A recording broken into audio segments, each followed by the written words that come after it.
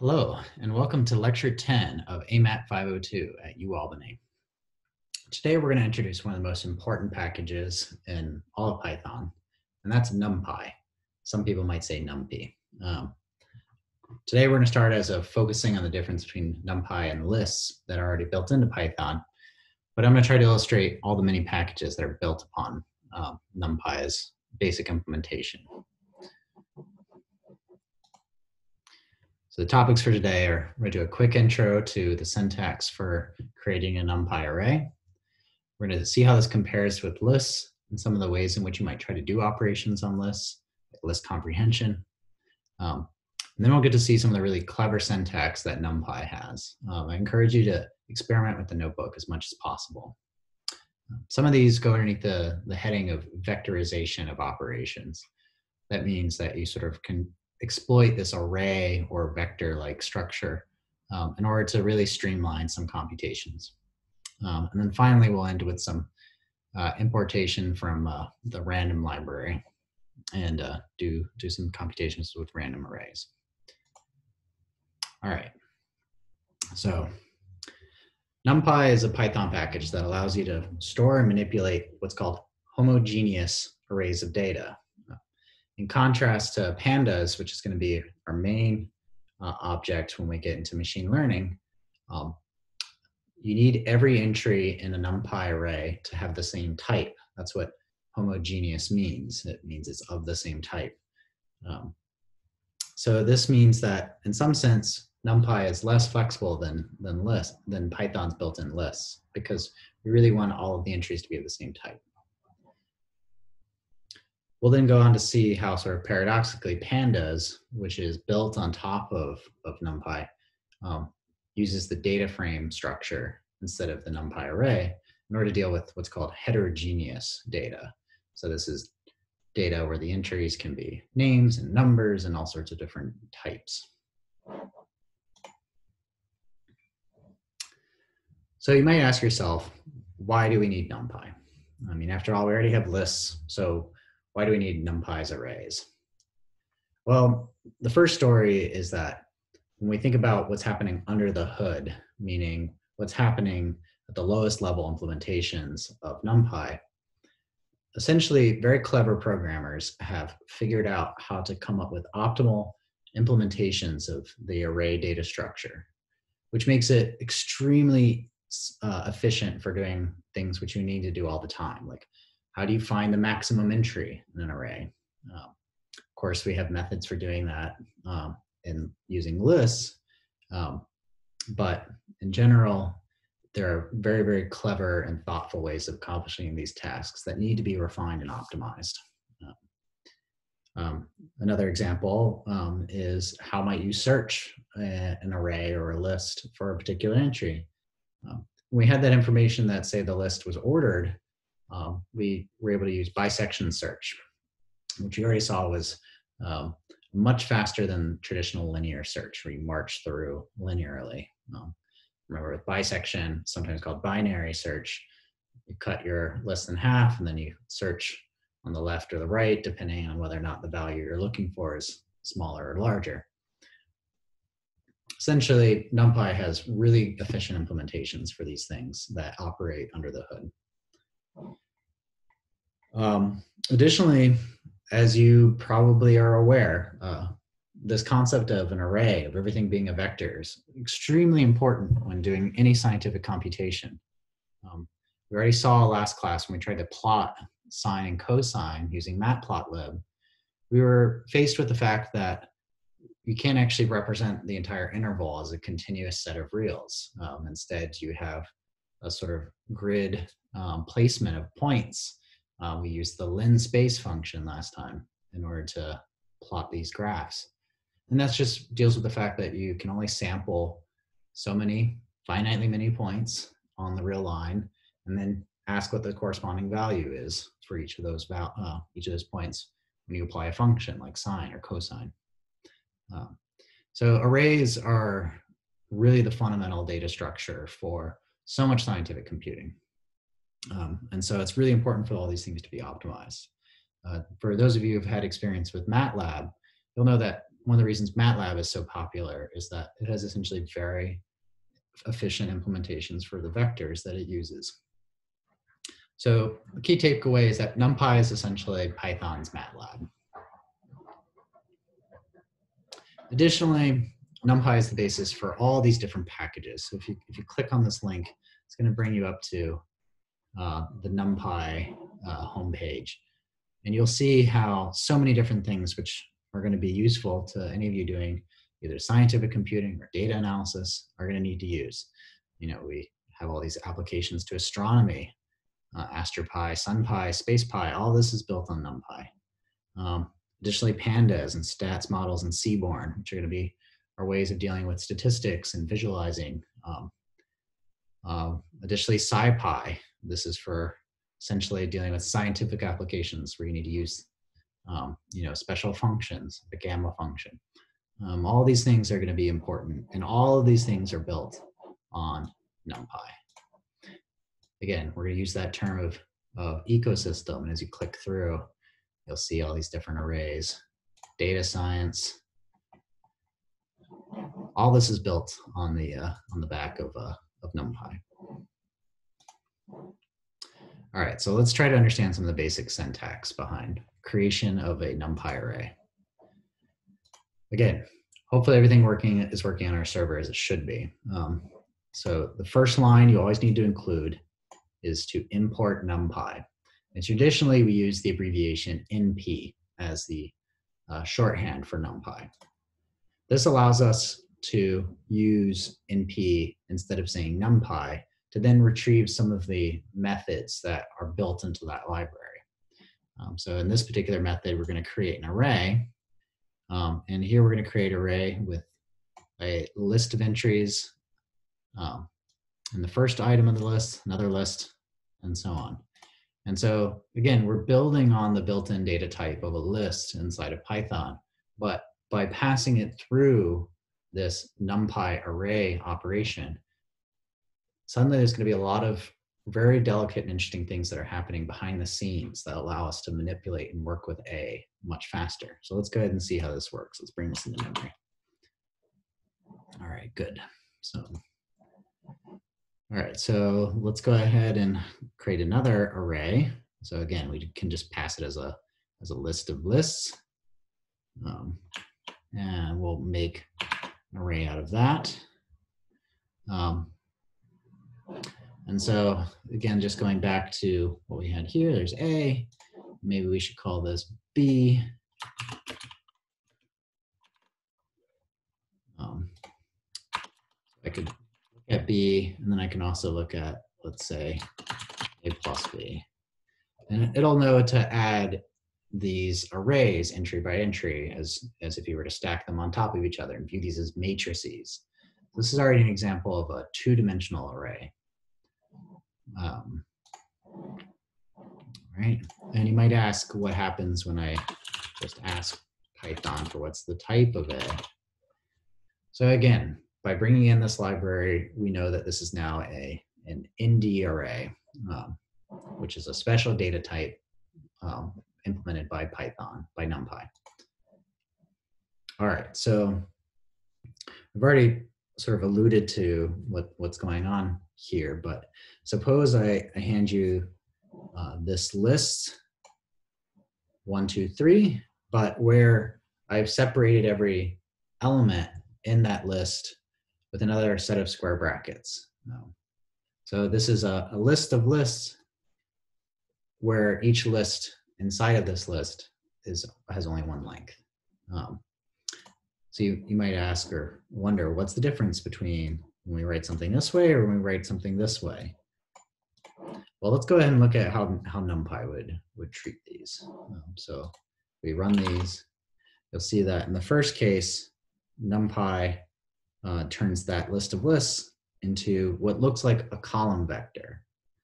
So this means that if you're just passed a single, single list like we do here, NP array one, two, three, then it treats it as a as an array or as a as a row vector.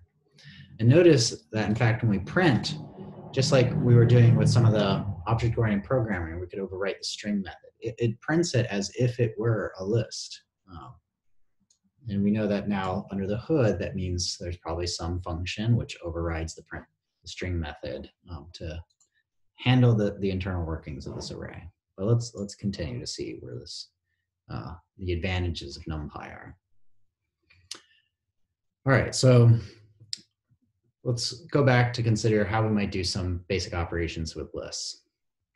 So for suppose we have a list of distances, um, and we know that they travel over some period of time, um, and the time is recorded in another list. So we have a list of distances and a list of times. And we did this for 10 cars. So you can think of this as maybe uh, observing 10 cars that go by on the highway and then trying to see how far they go and what period of time. So classic question would be how would we calculate the speed for each car? So speed is of course, you know, the absolute value of velocity. Um, and velocity we can think of in this case as just um, being whatever our distance is viewed as an absolute quantity divided by the period of time. So distance divided by time. That's why we have miles per hour. Um, so let's go ahead and see how we do this. So I've made up a couple distances. We can think of these as miles. Um, and um, maybe we can think of these as minutes or hours. Doesn't really matter. So let's go ahead and bring those into memory. So we have distances, list of 10 distances, and list of 10 times. So one sort of cumbersome solution for finding out all these uh, speeds is to go ahead and iterate through our list of distances. You know, assume that we've given a list that's just as long, um, or at least longer, um, than the list of distances. And then we're just going to store this division operation entry by entry, which is going to give us a float, and then append that float to this growing list of speeds. All right, so that's how we would we might implement this using um, using a for loop. How else might we approach this? Well, you could also use list comprehension. And there are a couple ways in which we might try to do that. Um, I want to illustrate one way which takes advantage of a function that we, we haven't really talked much about in this class. Um, this is called the zip function. So in general, the way that the zip function works is it takes in two iterable objects. So remember, iterable means it's something you can iterate over, and you can step through one item at a time. Um, and there are some examples of things like sets and so on, which were not iterable, but lists and tuples are certainly iterable. And so you can use the zip function to take in two iterable objects. Let's call it I1 and I2. And it's going to return another iterable of tuples. Of course, the way in which this is actually stored in the computer is going to be a little funny. It's kind of meant to be used as a, uh, as a crutch that is then passed along through computation. Uh, and in particular, one computation and one way in which it can be used as a crutch is in list comprehension. So let's look at the same example, trying to compute the speeds of 10 cars um, by using the zip function.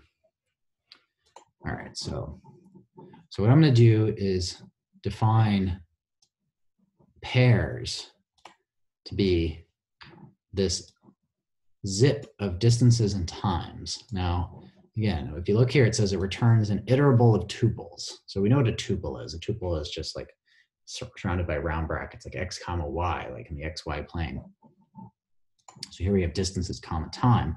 And so we're going to take in our two lists, distances and times, and then we're going to return this zip object. It actually has its own type, as we can uh, confirm here. So let's go ahead and comment out some of these things and see what happens. So first of all, what is a what is the type pairs? So again, type is how you access what are the what is the underlying object here that we're dealing with? What's the data type? Um, data type of pairs is a zip object. So there's actually a whole special class of data types called zip.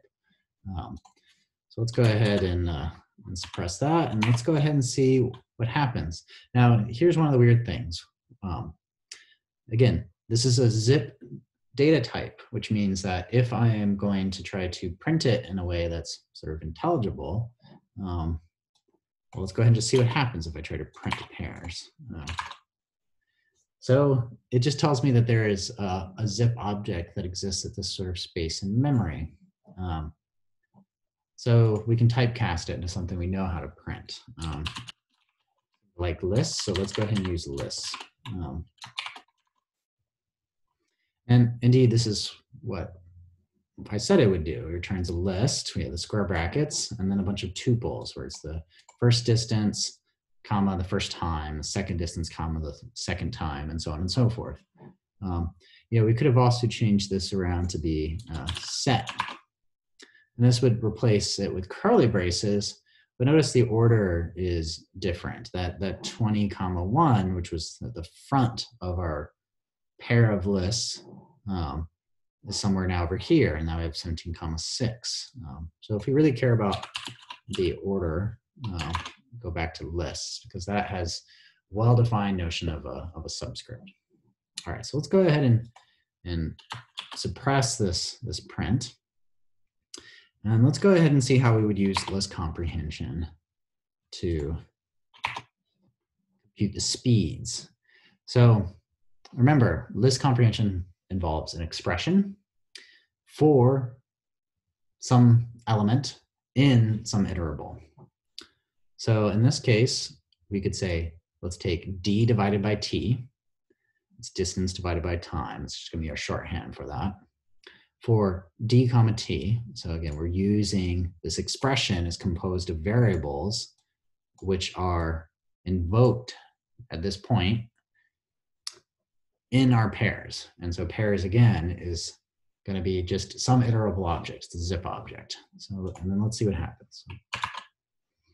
All right, so it does exactly what we want it to. It takes 20 divided by 1, gives 20.0, and then so on and so forth. Um, all right, so that's great. So just out of curiosity, notice what happens if we go ahead and try to print my list of pairs. So you'll, you'll see here that it actually returns an empty list. Um, now, now let's just watch carefully. What happens if I never use it? Oops. Comment out these two. It does exactly what it did up here, which is it returns 20 comma 1, 15 divided by 15 comma 3, so on and so forth. But somehow the action of using list comprehension across our lit our zip object, um, it has the effect of sort of, I won't say unzipping, but taking everything out of this iterable to free up space and memory. Um, and this is exactly the kind of thing which under the hood uh, makes a big difference in memory management and all these different things for doing these operations. Um, so just be aware that if you if you are trying to use a zip object and you use it once in a computation, um, it's not going to be uh, the same later. All right, so let's see. So that is a way you could compute the the, the speeds of all these different cars, these 10 cards, using the zip function and list comprehension. List comprehension again uses a list and then we use this whole expression for some variable inside some iterable. And we just take it for granted that a zip object is an iterable. You can read more if you're curious, but right now we just want to use it. All right, so let's see how we might um, work with higher dimensional lists in Python. So, so you want to think of a list of lists as sort of providing a way of accessing sort of higher indexing higher dimensional objects. So just like when we had our first example of A, we had a list where each entry in that list was another list, it printed and it looked like a matrix. A matrix you kind of think of as a 2D grid of numbers. Uh, but there's no reason we should could have stopped there. We could have actually continued to have further entries of lists of lists. So let's go ahead and see how we might take the product of of two lists of lists, or we might think of these as a higher a 2D list, two-dimensional list, 2D, D is for dimension. All right, so A is going to be 2341 in a list. That is the first entry in our bigger list. And then we've got minus one comma two, which is the second list, second index in this larger list. Two minus four, three comma eight. All right, so bring those into memory. And so suppose we want to create a third list. Um, and right now what we're going to do is we're going to start by initializing this list, a bunch of zero entries. Um, and we're kind of using ahead of time that we know that this is going to be a 2D list, meaning it's a, uh, a list where we have entries of lists. All right, so one way we can multiply these entry by entry, um, so again, we're going 23 times 2, 41 times minus 4, minus 1 times 3, and 2 times 8. It's going to give us 16 minus 3 minus 164, 46. Now, in order to do that, you have to do some pretty fancy footwork um, in our list. So, so we're going to have a for loop, which essentially steps through. You want to think of this kind of as the um, uh, as the rows in our in our matrix, and then inside of each list, we think of these sort of as giving us column entries. Um, all right, so so how will we do that? Well, we're to have one for loop which steps through the i, that's our row index, and then uh, for our j, which is our column index. Uh, and then we're going to say that L3, that's which is this, at entry ij is equal to a ij times b ij. Um, and let's just go ahead and call this C, which is going to be np array see. All right, good. So let's let's again just for for our own sanity, let's look at print C and let's look at print L3. Okay, so all right, so I had a little backwards, but we, we can kind of think of this as actually uh, the first row, and then that second list is actually giving us uh, our sort of second row. Um, but if we're careful, let's go ahead and ask what's L3 at, well, 0 comma 0 should be this entry. Now let's go look at 0 comma 1 minus 164. All right, so again, it's, uh, it's all the same zeroth row, first column. So actually everything I said was fine. Um, all right, good. And, and notice that when we print it as a list, it just sort of list wraps it out like this. But when we treat turn it into a NumPy array and, uh, and print, it kind of stacks it to make it look like a matrix. That's one of the reasons why this is sort of NumPy is really Python's MATLAB.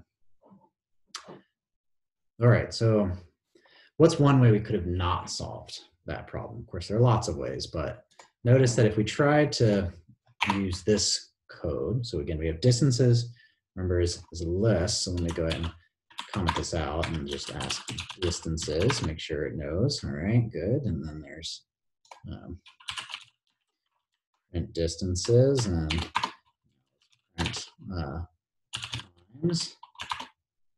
Okay, good, good, good. So now let's see what happens we try to do speeds equals distances divided by times. All right. All right, so again, we get a type error. Um, which tells us that I'm trying to do something with this type, again, here it's a list, that is not allowed. Um, so in this case, unsupported operand type for division. That's, remember, that's the division symbol, list and list. So sounding it out, it tells us exactly what we know. We can't divide one list by another. All right, so let's let's see where NumPy um, saves the day. All right, so just to be brief, we're going to use uh, little d as our numpy array for distances and little t for our numpy array of times. Let's bring that to memory.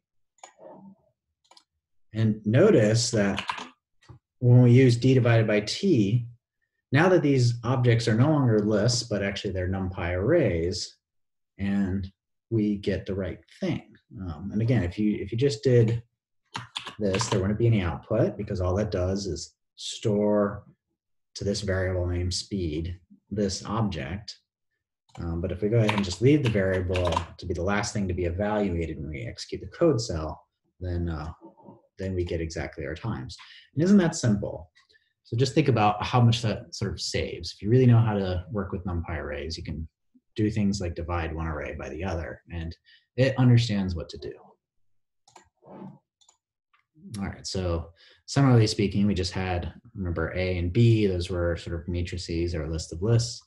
Um, and we had to write these two for loops, one that stepped through sort of all the row indexes and then one that stepped through all the column indexes. Um, but if we just use the asterisk operator, then it knows what to do. It knows to just multiply them entry by entry. Um, so we can divide arrays and we can also multiply arrays and it knows exactly how to multiply them.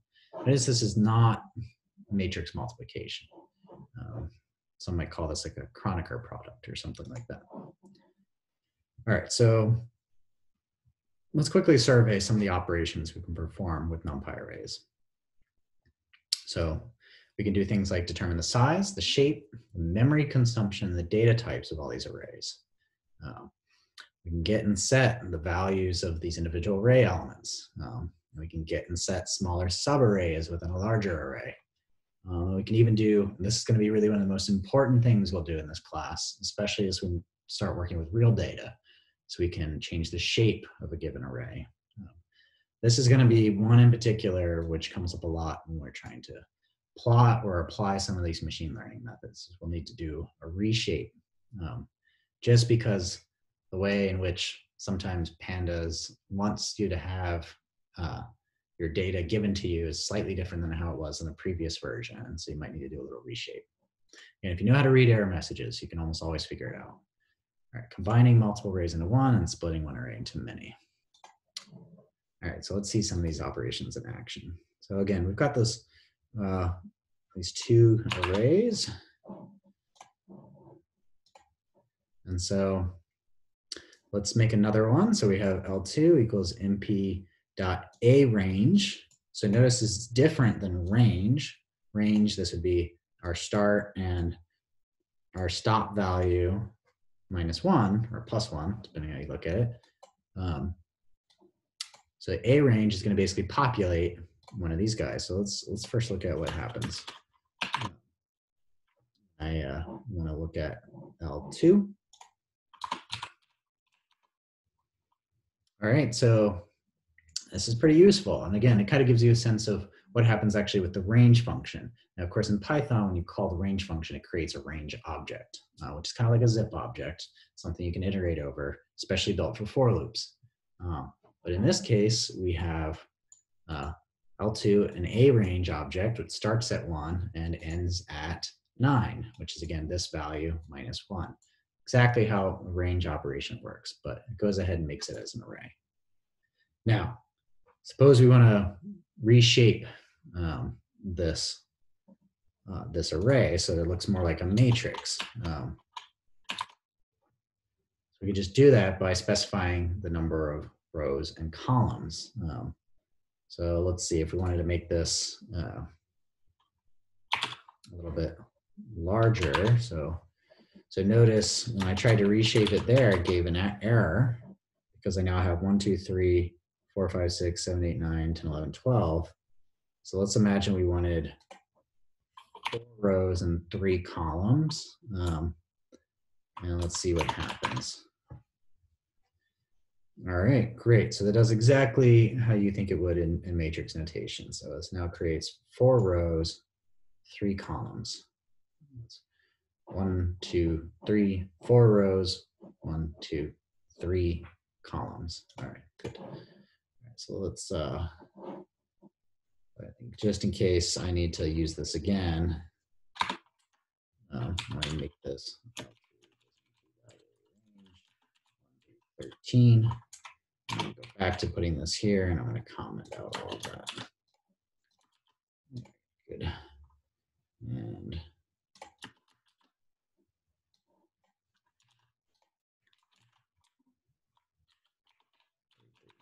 okay, good.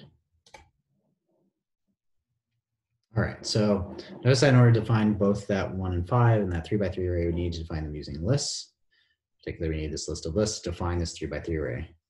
Um, so also one thing you can do is, and this goes back to what I said at the very beginning, so NumPy is good for homogeneous arrays of data. Um, homogeneous means of the same type.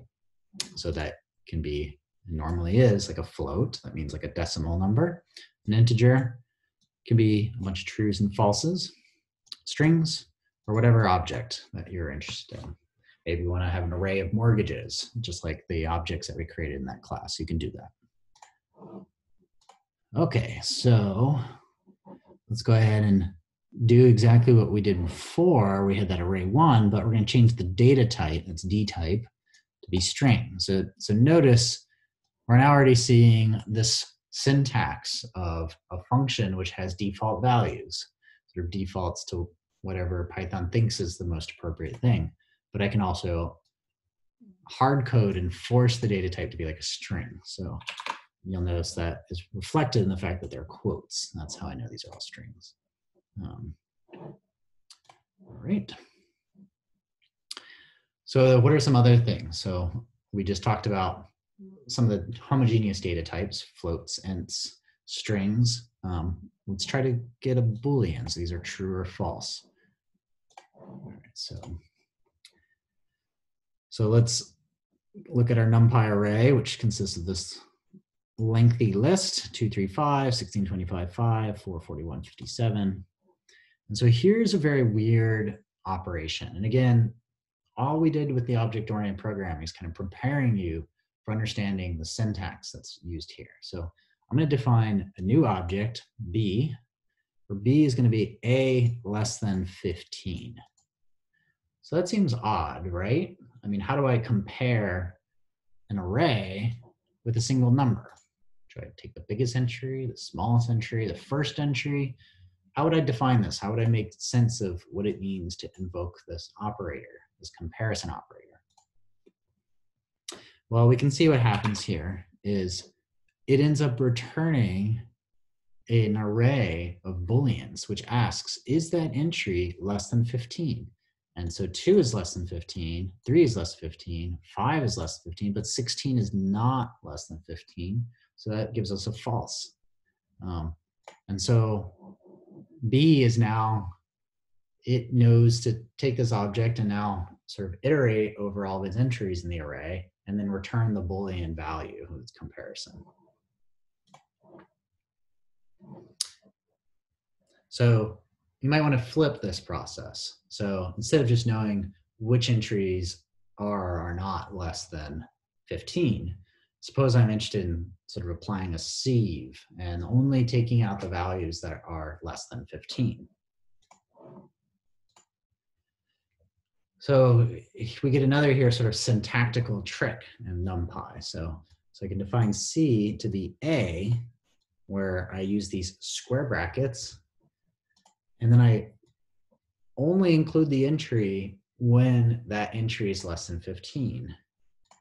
So, so this sort of almost has like a list comprehension feel. Um, indeed, what that does is it extracts out all the entries in that array that were less than 15, um, and then just stores them in the way in which that was encountered.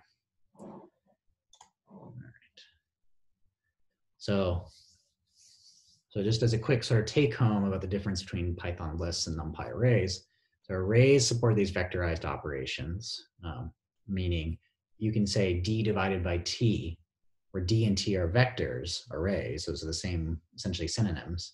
Um, and it knows how to divide by going entry by entry. And same thing with multiplication.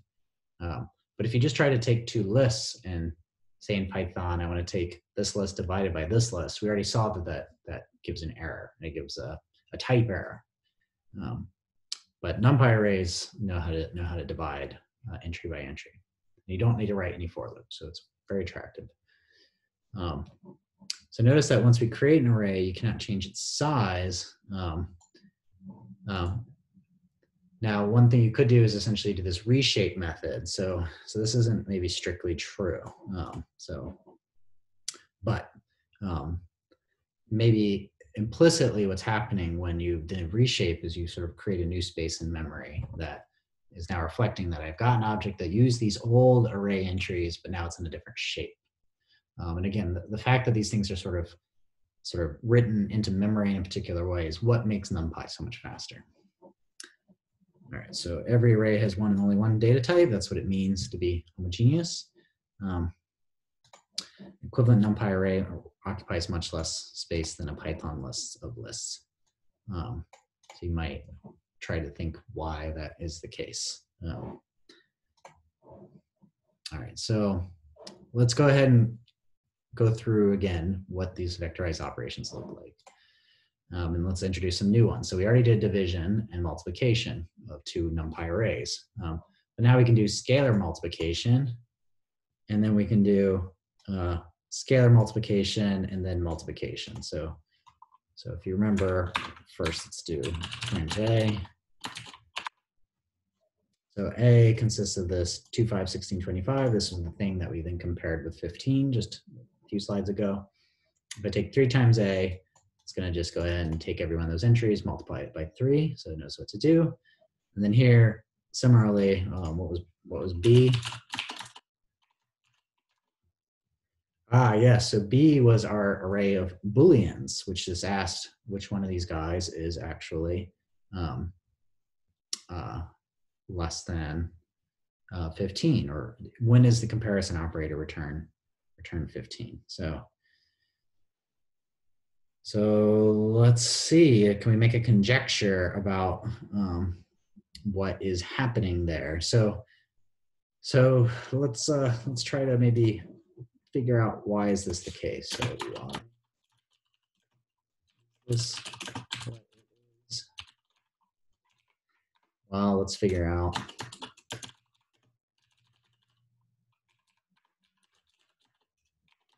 Do three times B. Simone. Yes. So you'll see essentially what happened is that it took um, my array of true and falses. And then realized that when I want to start doing numerical operations like multiplication, um, I need to think of true as one and zero as false, and then multiply those entries by three. So then this essentially just uh, zeroes out all the false entries and then, then multiplies all the true entries by, by three. So, all right, so let's see how we would like uh, to access some of these things. So again, just for, you know, print A, print B. So notice that, you know, this is a, a sort of one-dimensional array. So meaning it doesn't have further entries or, and so if I take A2, well, that's going to take the second entry, again, with zero indexing. That's zero, this is one, this is two and then it looks at the second entry of B, which is true. And then because I'm using a plus operator, it's turning that true into one and then gives us six. So explain this output.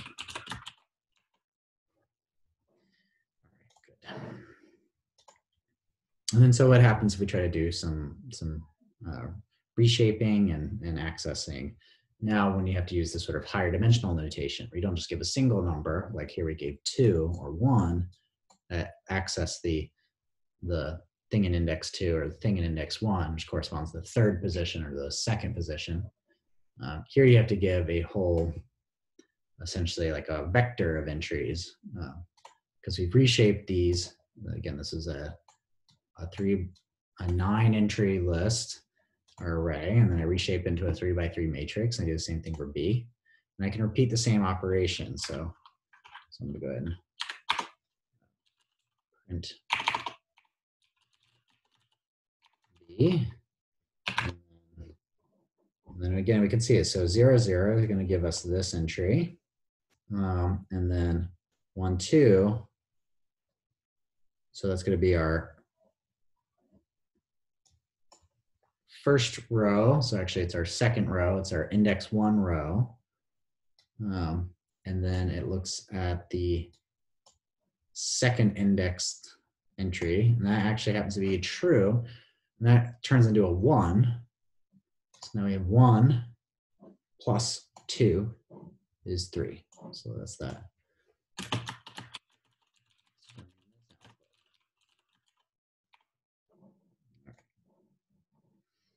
All right, so now let's do some of the same things we do with lists, um, we'll do with 1D arrays. So, so again, we use this arange function. Um, and uh, all the operations that we did before with slicing, um, where we go index one through index six, so seven minus one is six, uh, gives us exactly what we might like. So let me go ahead, print x. Okay, all right, that's nice. So it starts at two. Let's just stop at 29. Um, uh, and in fact, if it gets to 29, it's not even gonna go there. It's gonna stop before that. So that's why it stops at 26, because 26 plus three should be 29. But again, you take that thing minus one.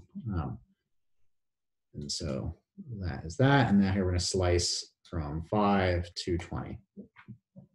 All right, cool. And again, you've got our same notation for slicing, either specifying just a start point or specifying an, an endpoint. Right. And so multi-D arrays are very similar. Um, so again, you've got this same sort of code where you have start, stop, step, um, where now you're sort of operating inside of this sort of rows, columns, whatever the third dimensional analog of that would be. Um, and so, so if we did that here, so this should go through the rows backwards because we have this minus one and then sort of step through this, uh, the column entries as we would normally. So again, already compiled, but you can see here that, so it takes one, two, three, four, five, six, seven, eight, nine. All right, so now let's go through the rows backwards. So that means seven, eight, nine is gonna come first, then four, five, six, then one, two, three. And that's exactly what happens here. Now, what happens if we were to, to flip this? So I go, let's go ahead and do this.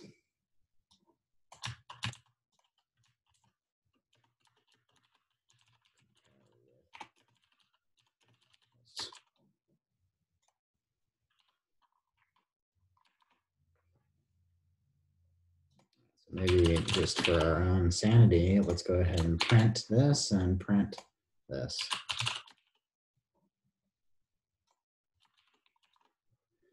So you can see here that, all right, so we've reversed, put 789 in the, again, in the first position, but now we've marched through that backwards. So we go 987. And similarly, just as 456 was fixed, we now have 654. And then three, one, two, three being our last row now is now step through is 321. So this, again, all the operations we did before still still work here. And um, um, the more you play with this, the more you'll remember how to, how to incorporate things. All right, and so again, like in many modern applications, it's very useful. Just like with this Jupyter Notebook, I can make a copy um, so that I can then mess with the copy without affecting the values of the original. Um, so we already know what's happening there. Um, and then there are some other ways of making constant arrays. So that means that I can create an array of all ones or an array of all zeros. Um, and that does exactly as, as we think. All right, so now one of the reasons we need all of these things is you're going to eventually use these NumPy grids. Um, and in this case, I'm going to use specifically the NP arange function, which you'll notice now supports non, non-integer step sizes, which was something that tripped a lot of people up on some of the homework. Um, and then we can turn this into what's called a mesh grid object. And so now I can just go ahead and take this sort of sampling from minus 10 to 10 at steps of a quarter um, and consider the plot of the function f of x y equals x squared minus y squared minus 10. Uh, so again, this isn't going to look like a sphere because we have a minus sign here. Um, instead, it's going to do something that's kind of curvy. And then we can use some of these matplotlib um, libraries, which I've brought in here, um, to plot the surface. Um, and so what you'll notice, I'll just go ahead and show it to you here, we get a saddle. Um, so again, this is one of those sort of fundamental objects um, in mathematics. So, so here you are sort of, you might also call this a mountain pass. So here you have to go up to the mountain, here you have to go up to the mountain, but here we're trying to pass between the two mountains. Um, all right, but you'll notice um, if I hit shift enter, um, sometimes the first time through it won't actually generate this plot. You need to do it twice. Um, so that's just be warned. All right, so NumPy has plenty of built-in functions and operations, which we're going to become familiar with uh, soon. So one way, and we do we can do that, is using the random integer, which will create a random an array with a bunch of random integers. It's going to be extremely useful for doing stochastic experiments.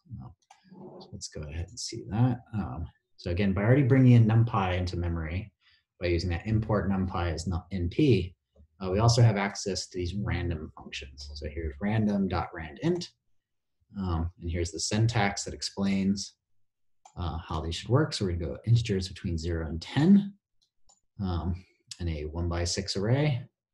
And here we're gonna use three to four, and here three, four, five. So this will be a three dimensional array. Um, and so every time we run this, we'll get a different draw um, of the integers between zero and nine. Um, and those there are no tens. Um, every time it'll generate, it'll give us something, something that might not be the same as before. Um, it's, it's a random variable now, random matrix. All right.